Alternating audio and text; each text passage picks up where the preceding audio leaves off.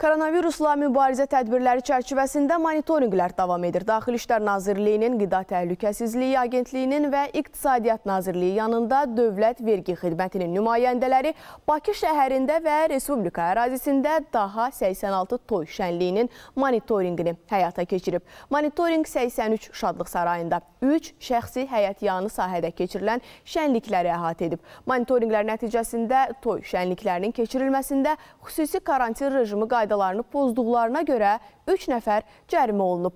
Bir şadlıq sarayının sahibi barəsində material məhkəməyə göndərilib. 6 nəfər COVID-19 pasportu olmadığına görə şənliyə buraxılmayıb.